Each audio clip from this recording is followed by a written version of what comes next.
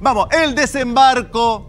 Se están desmarcando la metamorfosis del presidente de la República, Gabriel Boric. Eh, lo, están, bueno, lo están matando en redes sociales. Póngame algo, por favor, sobre, sobre el presidente de la República, lo que están diciendo. A ver. Mira, aquí está. Ay, ay, ay. Aquí, eh, fíjense, fíjense esta historia. Una chica de Instagram, una chica de Instagram, Hola Mirona, hizo este dibujo, ¿cierto? Tipo warholiano, de- retratando distintos momentos del presidente de la República. La metamorfosis de Gabriel Boric. Y termina en eso. Presidente le responde. Lo entiendo, no es lo mismo ser activista, dice el presidente. No es lo mismo ser activista, dirigente de una causa particular legítima, ni diputado a ser presidente de todos los chilenos. La pregunta es, y quiero ir contigo, Mario, después paso para acá. Presidente Gabriel Boric, cuando deje de ser presidente, ¿va a ser activista? ¿Cuál es, cu- cuál es la, la- la verdadera, la verdadera posición del presidente de la República? Porque es una antes, ahora es una y después va a ser otra. En el discurso hay una evolución. En el discurso hay una evolución. Pero los hechos demuestran que la evolución es cero, igual a cero. El diputado Araya cita a las Fuerzas Armadas en la frontera y yo creo que con la mejor intención. Pero recordemos que las Fuerzas Armadas son enviadas a la frontera con las manos amarradas las dos. El personal de las Fuerzas Armadas en la frontera de Arica y en la zona de, de Colchane no está autorizado por el DFL1, que es el que norma, el que regula esto, para, por ejemplo, decirle a un migrante ilegal que viene entrando por un paso, ilegal también, señor, usted tiene que devolverse. La instrucción es muy clara, debe pedirle la identidad y debe reconducirlo hacia Chile, o sea, el ¿Cómo militar se transforma en un portero. El militar debería estar hoy día de recepcionista de los migrantes ilegales y decirle, señor, entre, porque esa es la pega. Luego el artículo cuarto, inciso segundo, dice categóricamente que no pueden revisarte todos los bolsos, todas las mochilas, todas las maletas de autos que ellos quisieran revisar, porque los limitaron a tal nivel que solo pueden revisar la maleta de un auto o, o el bolso en donde haya sospecha de que se cometió un delito o de que se va a cometer un delito. ¿Y esto por qué sucede? Porque el equipo del presidente, ahí en el segundo piso, Frente Amplio, sospecha de los militares y de los carabineros el día completo. Y por eso los manda al sur en el estado de excepción con las manos amarradas. Los militares no gozan de la confianza de este gobierno, los carabineros tampoco gozan de la confianza de este gobierno y por lo tanto esta metamorfosis es en el discurso, porque mientras el presidente no demuestre que no confunde seguridad con represión, como lo hace todo su sector, todo su sector, Eh, Frente Nico, Amplio. eh, Araya, Yo- yo creo que la-. ¿Sabes lo que dice? lo que Yo dice creo Mario, que la... perdón? Sí, yo, mira, ok, dale. Yo creo, estamos hablando de normas objetivas, ar- ar- DFL1, que establece la, el trabajo que van a hacer las Fuerzas Armadas en la frontera de Chile después de que se cambiara la Constitución y se estableciera que la frontera es una infraestructura crítica. El documento es clarísimo. Los militares hoy día no pueden decirlo. Es que ha disminuido la migración ilegal. Es un chiste. ¿Cómo sabes cuántos migrantes ilegales no se te han pasado? si los que asesinan a carabineros entran y salen. Los iraníes, los iraníes que se, se en una casa de Hezbollah se quedaron en una casa que era de Hezbollah, cuando el gobierno decía que Hezbollah no tenía nada que ver en Chile. Estos iraníes que reciben un pasaporte británico robado en Chile, con una estructura logística que ya se la quisiera cualquier organismo interna- eh, de, de los más grandes de inteligencia. Aquí hay un aparataje montado gigante. Bueno, ¿qué pasa con los iraníes? Igual que el que asesina a un teniente carabinero, igual que el que asesina a un oficial del ejército venezolano que está exiliado en Chile, refugiado en Chile. Los asesinan y entran y salen. Y el fiscal Barros lo dice, no lo digo yo, ¿ah? el fiscal Barros dice, Gonzalo. estos homicidas y estos secuestradores entran y salen por la frontera cuando se les da la gana. Entonces, ¿cómo me pueden decir a mí que bajó la cantidad de migrantes ilegales si no Sí, que la sabemos cuántos han entrado? Eh, eh, Ignacio o La hipótesis, Ignacio la hipótesis de, la- de otra cosa con guitarra, eh, Gonzalo, creo que es una mala excusa. Y, y me da la sensación que esta caricatura, ¿no es cierto?, eh, tiene un, un error en su construcción. Porque en realidad creo que la- las vueltas de chaqueto, la modificación del presidente, no responde a una cuestión secuencial. No es que él partió el año 2012 como presidente de la FECH de una manera y hoy día que es presidente tiene otra. La verdad, para quienes conocemos al presidente Gabriel Boric desde esa época, él era dirigente universitario cuando yo era dirigente secundario en la región del Maule, el presidente siempre ha convivido con esta dualidad de posiciones, desde muy joven, fíjese. No es que él venía de una posición más radicalizada y hoy día está en una posición más conservadora o extraña, voluble. Ah, él siempre ha sido así. Él siempre ha tenido un comportamiento eh, corcoviante, siempre ha tenido un comportamiento eh, poco predecible para quienes no lo conocen. Hoy día imagino que para la gran mayoría del país verán un presidente que el año 2013 Claro, pero, pero, pero asume su como propia gente se le está yendo ya. No, es que, es que esto ha sido una tónica, la verdad, que durante toda su carrera. Entonces, para terminar, Gonzalo, creo que eh, hay una, una falla aquí en, en- en lo que se detecta en esta, en esta eh, gráfica,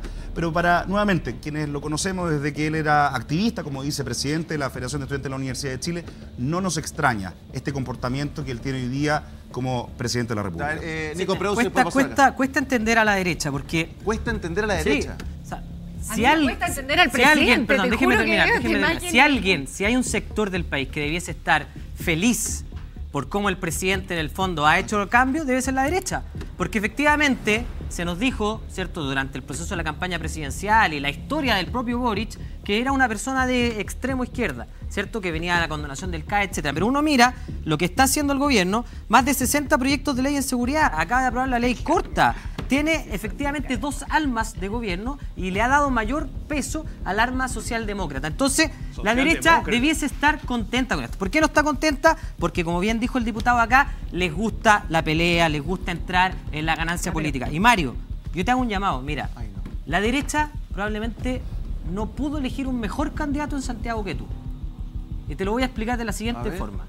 Si hay una persona de derecha que puede llegar a un electorado de centro, moderado, eres tú.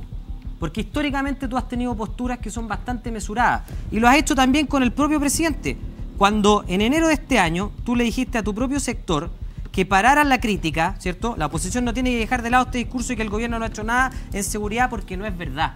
Tú eres una persona que efectivamente es mesurada y evalúa. Entonces, yo te quiero pedir que por favor no caigas en, la, en, en este discurso y en el fondo en esta jugarreta de la derecha de tratar de pasar todos los temas de seguridad. Tú eres una persona que si lo hace bien probablemente va a tener un buen resultado en Santiago. Lamentablemente la derecha muestra una vez más esta capacidad de fagocitarse que yo he dicho, llevando a Aldo Duque, una persona de extremo, que lo más probable que haga es que divida la votación de la derecha y termina ganando la actual alcaldesa. Entonces yo te hago un llamado, tú eres un gran candidato, puede hacer que mucha gente moderada termine apoyándote. No caigamos en este típico discurso, ¿cierto?, que es para la galería de sacar provecho. A ver, Mario. En dos segundos, no hay duda de que uno debe reconocer lo que se está haciendo y no podemos partir de la base que este gobierno, el anterior no hizo nada, este no ha hecho nada, porque seguimos en esa dinámica torpe en donde yo compré 40 radiopatrullas, que tú compraste 41, que yo compré 40 y medio.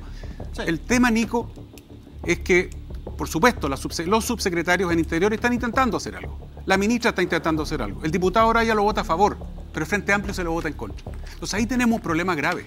El presidente no alinea los propios. El diputado Manucheri decía en La Moneda, en el Patio de los Naranjos, estamos hasta aquí de seguir nosotros dando la cara para que los del partido del presidente le voten en contra de los proyectos. Entonces, Nico, como ex ministro de Defensa, de verdad, me, me parece estupendo que es- eh, usemos la Fuerza Armada como cosa excepcional, la saquemos de su rol principal y los pongamos en la frontera. Pero la verdad que me sacan los choros del canasto que los manden amarrados de mano. No podemos, necesitamos cuidar la frontera una vez por todas porque entra el que se le da la gana. Chile es igual que una casa que no tiene reja, ventana, puerta ni nada. No es populismo, no es populismo penal, no es... No, no, es la verdad, con todo cariño. Presidente, ca- cariño con lo que tú estás diciendo, el presidente dice una cosa y hace otra constantemente. Poduje. Y lo está sufriendo el socialismo democrático Yo todos los días. Lamento, don Mario, que un abrazo de oso, en este caso un oso más bien de peluche, pero un abrazo de oso al final. Pero quiero decir a Nicolás Preus que eh, eh, los gobiernos tienen que poner, los gobiernos tienen, no, usted encara está, a mí, pero- no, déjeme contestar. Los gobiernos tienen que poner los discursos donde te ponen la Usted plata. habla de su experiencia que ha tenido mucho gobierno, me imagino, ¿no? Escúcheme, si quieres pues hablamos de mí. Ahora voy a decir que No, usted, usted es segunda le vez que me interpela. un ¿Cuál es su experiencia en gobierno? ¿Cuál es su mucha, experiencia un abrazo de peluche, de oso, de oso de peluche a Mario. Pero yo le quiero decir a usted, Y conmigo. a usted que su presidente, de nuevo no se ha referido a la alcaldesa Pizarro, No alcaldesa, presidente. Nosotros no somos alcaldesa parte te este mando un saludo, dado que tu camarada está un poquito desviado. Pero le quiero decir a Nicolás que el presidente se negó a poner la plata para, darle lo que están esperando los carabineros, que es un subsidio del 65% de su sueldo trimestral. No lo dio. Así que todo su bla bla sobre los carabineros termina en nada. No ha regalado los cuarteles, no ha, no ha mejorado las casas de los carabineros. Entonces, esto es verdad, porque hablar no cuesta nada. Poner la plata, Nicolás, es lo que importa.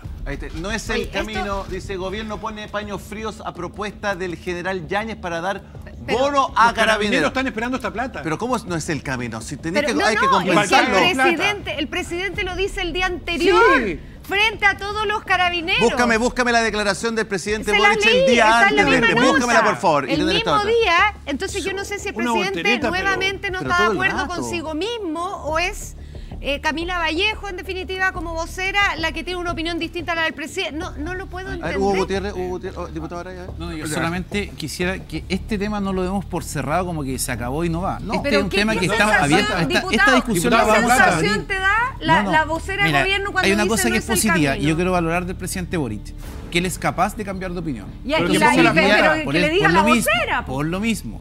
Si hoy día están diciendo que no, yo no descarto que esta conversación la podamos abrir porque es necesaria. No, no, pero- han pasado Gonzalo, muchas ¿puedo cosas? Perdón. que el, go- Es que- que el gobierno iba en una dirección Oiga, y la hemos cambiado. diputado, Entonces, usted, eso, diputado. esto que hoy día se le critica que cambia de opinión, yo creo que es una, es una cosa que hay que aprender a valorar. Es que él Diputado, anterior- Yo no doy por cerrado este tema. El Katy. O sea, lo que pasa es que el diputado, el diputado evidentemente no tiene problema económico, los carabineros ganan bastante menos que usted, no le han pagado subsidio, no le han pagado el bono de riesgo, no se lo han pagado. Perdón, Entonces, Iván, no te voy a permitir que digas eso, porque fue iniciativa nuestra en la bancada del PPD pelear por la asignación de riesgo que no se le pagaba a los carabineros. Pero no se le paga. está se está pagando. No se paga. Se está pagando. No se paga, a partir se del año pasado. No, se está pagando. Por lo tanto, nosotros hemos trabajado el tema en Escúcheme, serio. escúcheme, Créeme, por diputado, yo le favor, quiero decir una cosa.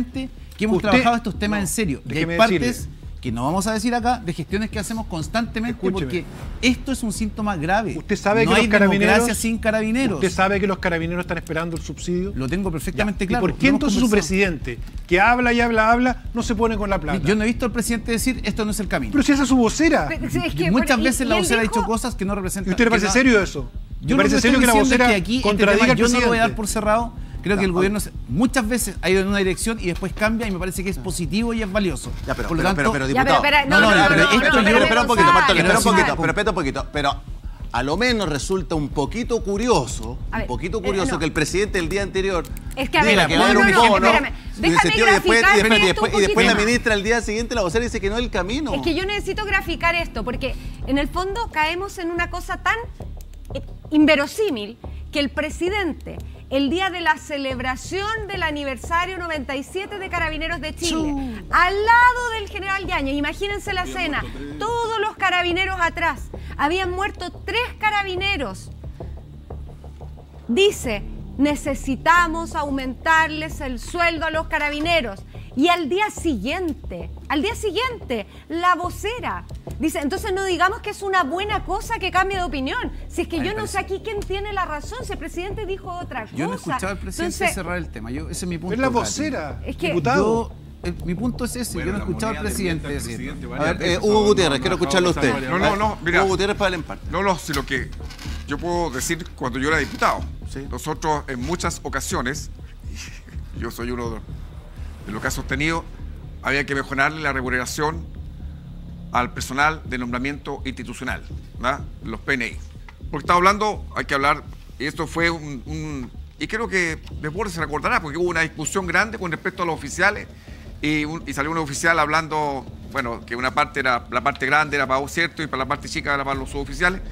Y ciertamente era porque nosotros siempre hemos estado de acuerdo que en los sueldos de los carabineros, del personal de nombramiento institucional, tienen que aumentar. Para que sepan cuál es el, perso- el personal de nombramiento institucional, son los que no son oficiales. Y hemos, siempre hemos sostenido, al menos cuando estaba yo como diputado, de que ese- esas remuneraciones tenían que mejorar. Ahora creo que cuando Camila dice que no es el camino, debe ser porque el camino debe, debe estar trazado por la agenda de seguridad. Yo no sé si en la agenda, yo lo desconozco, ¿ah? quiero decirlo con mucha humildad. Yo desconozco si en la agenda de seguridad estaba incluido el aumento de las remuneraciones de los carabineros y de los militares en frontera. No lo sé.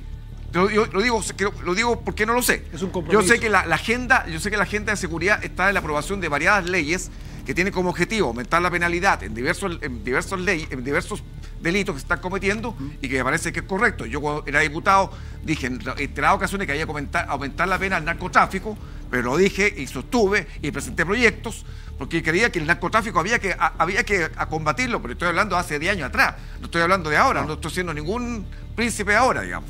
Ningún general después de la batalla. Pero yo creo que, yo creo que ¿te efectivamente aquí hay un tema Hugo? ¿Te fundamental. una pregunta, A ver, eh, le quiero preguntar algo, a ver. Sí, no, no, sí, pero yo creo que es un tema, yo creo que es un tema relevante.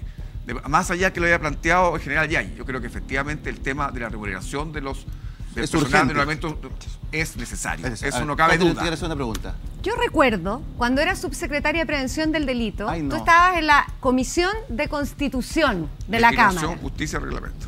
Exacto. Ay, no. Y nosotros presentamos un proyecto de ley para perseguir el patrimonio de los narcotraficantes. ¿Lo recuerdas? Bueno, yo te invito a recordar que votaste en contra, a diferencia de Pamela Giles, por ejemplo, que fue algo que fue bastante sorprendente.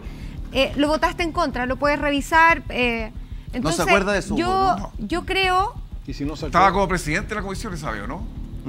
no recuerdo si eras tú el presidente en ese minuto, pero estabas integrando la comisión Ya.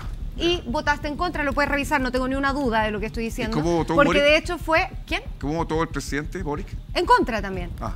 En contra. No, no, te digo no, porque también él integraba la comisión. Sí, votó en contra. De hecho, ¿por qué menciona a Pamela Giles? Porque fue el voto de Ah, Pamela. Giles lo que permitió que llegara eh, aprobado a la sala el, el proyecto. Entonces, a mí lo que me pasa es que todos estos cambios de opinión, cuando, cuando el diputado Araya nos dice, tenemos que buscar el acuerdo, tenemos... sí, pero el problema es que ¿con quién estamos acordando? Estamos acordando, como decía Mario Desbordes, con el Frente Amplio que vota en contra todos los proyectos del gobierno. Estamos eh, acordando con, con qué presidente Boric de todos los dibujos que habían en...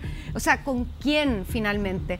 Porque resulta que cuando nos toca enfrentar la posibilidad de llegar a un acuerdo, incluso cuando el gobierno presenta proyectos como, por ejemplo, la, eh, que, que se mantenga el estado de excepción en la macrozona sur, es la derecha la que termina subsidiando los votos del Frente Amplio o del Partido Comunista. Y eh, una última cosa, en materia de seguridad, el gran aliado que ha tenido en la agenda corta y los 60 proyectos no son 60, son 50 y algo, ha sido la derecha. Ya. A ver.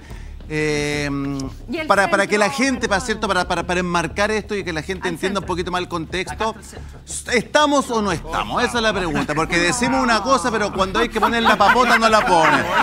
Ayer, Oye, oye, oye. ¿qué pasó? ¿Qué pasó? A ver, ¿qué pasó? A ver, ¿qué pasó? Acá ¿Qué quien resuelve tema, mira, quien resuelve tema de remuneración es una sola persona. ¿Quién? Y es el ministro de Hacienda. Aquí no, se, no, aquí no se equivoquen. ¿Y quién lo manda? ¿Quién de- en definitiva resuelve los temas? Ya, pero mira, no, pero, pero- Ya, ya, ya, pero ya, pero, pero, El ministro de Hacienda, el que va el que Ya, toca pero muchachos, muchachos, con usted. déjenme, terminar la idea y, bajo contigo, Gabriel, porque no se me enoje. ¿Se enojó? No estoy enojado. Está ¿Cómo se le enojado. Ya, ya. Déjeme, déjeme mostrarle tres cositas al emparte y bajo con usted. ¿Estamos o no estamos? Ayer el general Yáñez dio una entrevista en Mega y dijo esto. ¿Hay algo que habría hecho distinto? Sí, en esa época del estallido.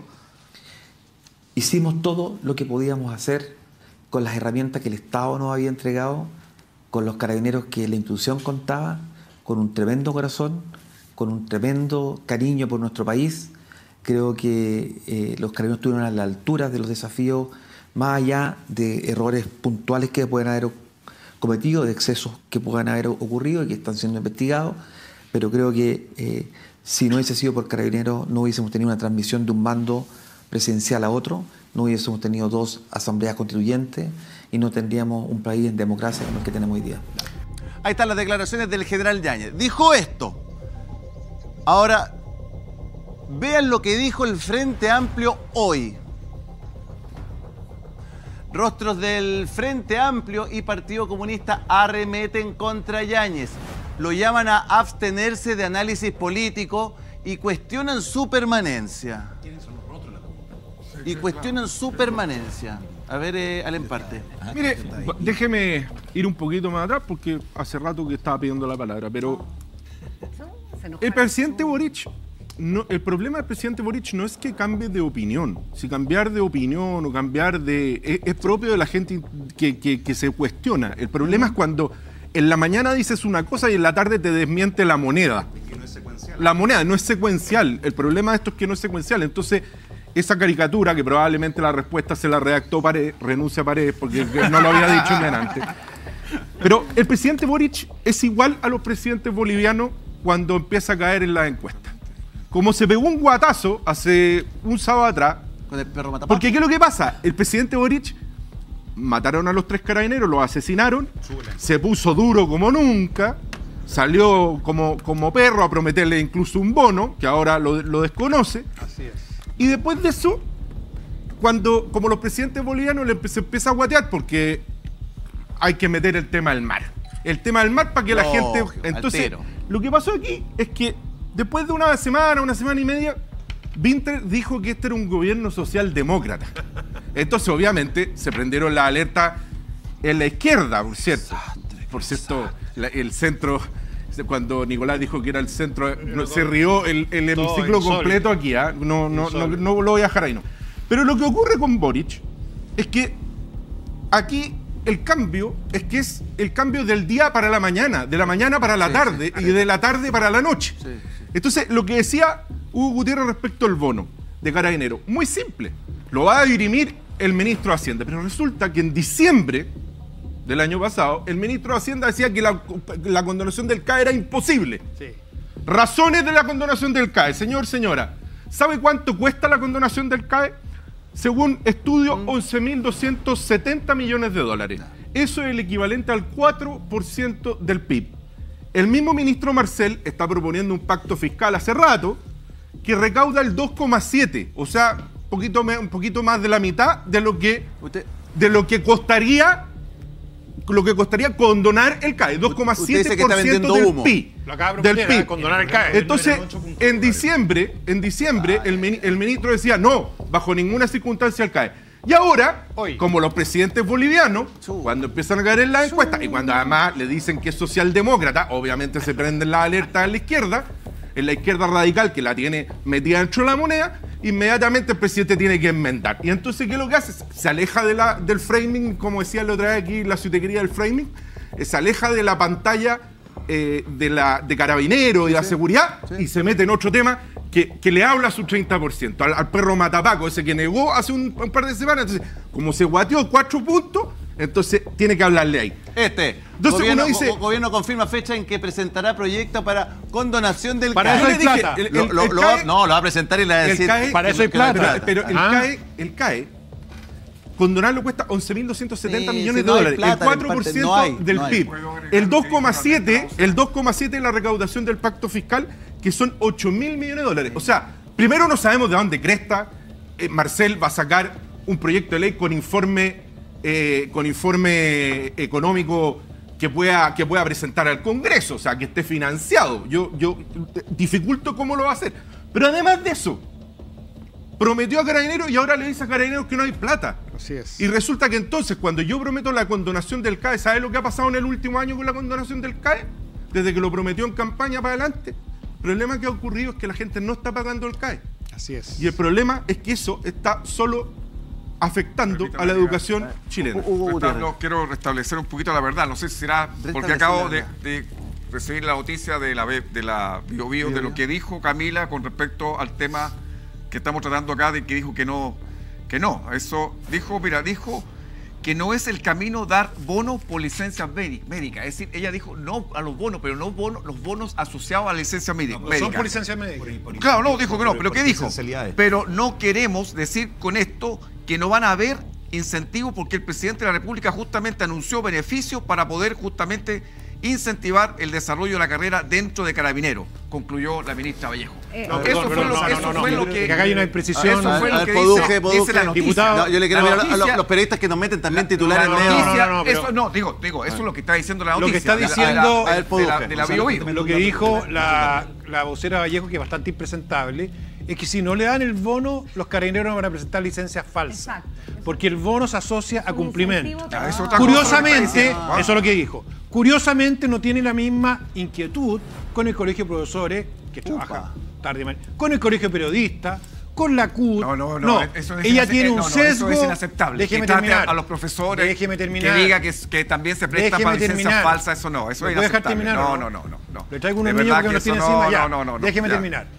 Eso Señora es Vallejos. inaceptable hablar mal de Señora un profesor. Vallejos, usted lo que dijo aplica para los carabineros, los cuales usted no estima, pero no para el resto de la gente que presenta licencia, que no va a trabajar, que para con los profesores en toda la pandemia, dejando a los niños sin educación. Usted tiene sesgo. Por lo tanto, yo le pediría a la gente, ya no sé a quién pedirle, en parte si es a, a Paredes, a Boric, No, Paredes ya a, lo a. Crispi, que no sé si ya no están me en- había olvidado de él. no sé si Crispi está libre en mucho tiempo. Por favor, pónganse de acuerdo con los mensajes. Gonzalo, un dato. Ya, Ignacio la pedofilia se Oye, perdón, estamos no, un paréntesis muy cortito respecto al tema de... Pero puedo dar un... Sí, de- la Dale, pero ya. guarda- Ya. No, tú, tú, tú. Ah, yo sí, era, un paréntesis.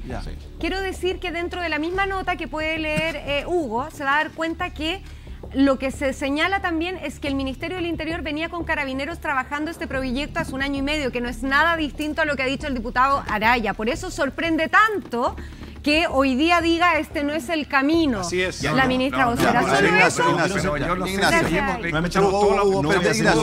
No lo nadie, pero eh, como decía el diputado Jaime Araya, o sea, pongamos la- las cosas y la, la discusión en los términos que son y no tergiversemos el lenguaje para acomodar la realidad. Lo que ha dicho la ministra Vallejo, eh, Iván, es totalmente al revés de lo que tú has comprendido. Y esto devela una realidad que es bastante compleja de fondo y creo que eh, nuestro candidato Mario Desbordes nos podrá acompañar en este dato, porque creo que es una conversación importante tener. Al año 2019 había un aproximado de un 9% de presentación de licencias médicas en Carabineros de Chile.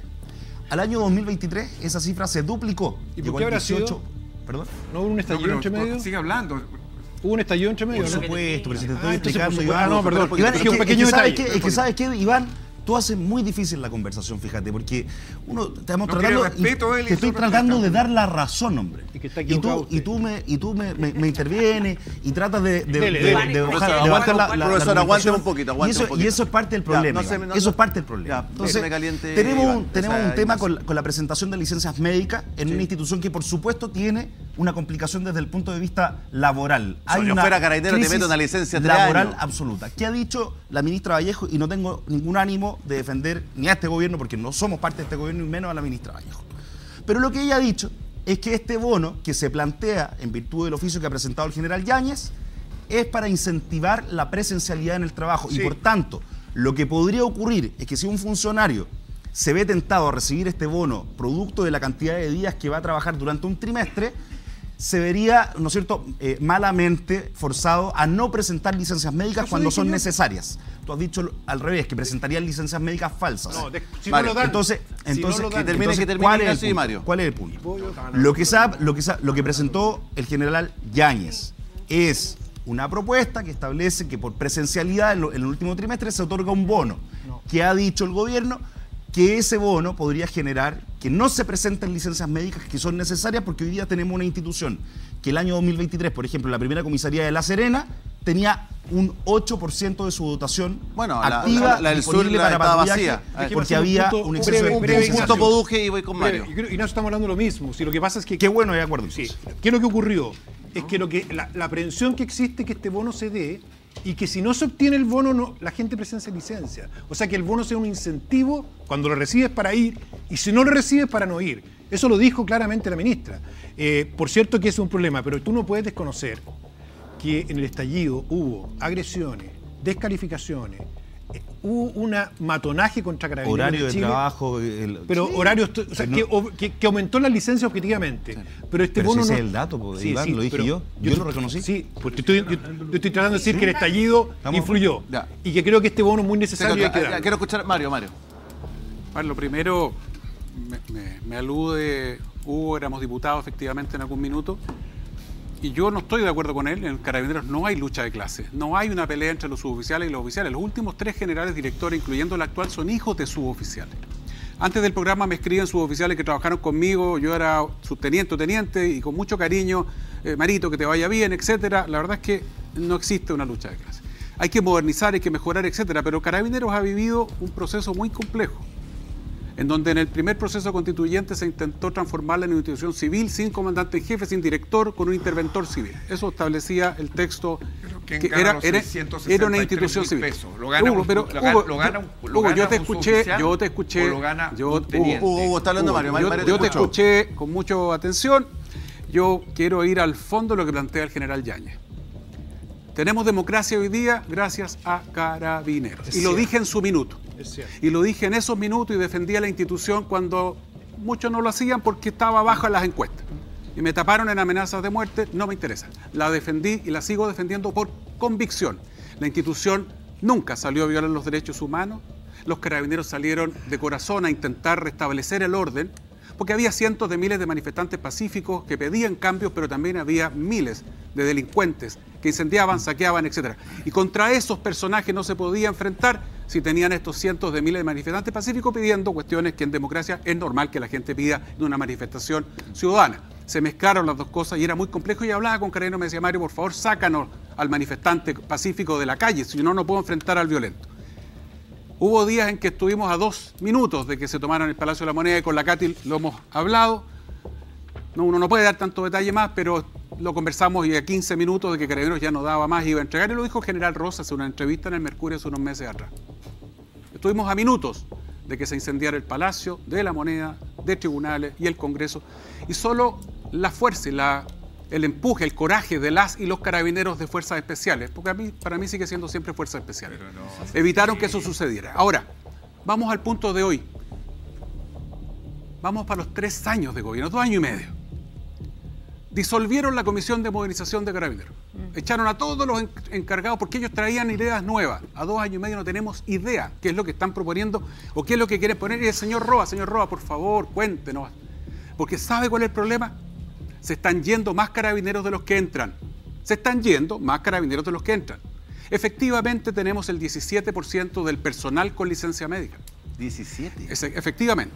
Tenemos un problema gravísimo hoy día que fundamentalmente tiene que ver con la falta de apoyo. Eh, El carabinero sabe qué incentivo necesita, el bono, por supuesto. Pero hay que mejorar las condiciones en general para que la institución entre más gente, entre los mejores. Muchos jóvenes que quisiera entrar a Carabineros de Chile, pero no entra porque la verdad le pagan menos que si trabaja en 20 Mar- pegas Mar- y distintas. acá, por ejemplo, que vemos a la diputada Orsini. Dice, eh, carabiner- la, la noticia es Carabinero frustra balazos, asalto a mujer en estación central, delincuente murió en el lugar. Y Maite Orsini dice, duele la indolencia generalizada desde todos los sectores políticos y en la opinión pública. Ningún niño nace delincuente. Cuando una persona de 13 años comete un delito, quienes fallamos fuimos todos. Estado y sociedad. Al hablar de seguridad, cuidar las infancias es crucial.